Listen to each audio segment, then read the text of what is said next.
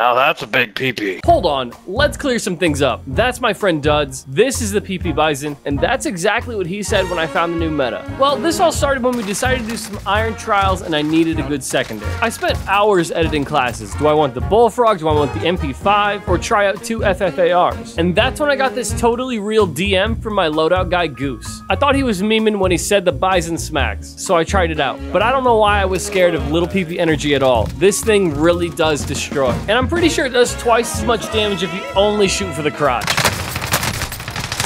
Now, I'm not really a loadout guy, so I'll leave it up to Goose to tell you the attachments.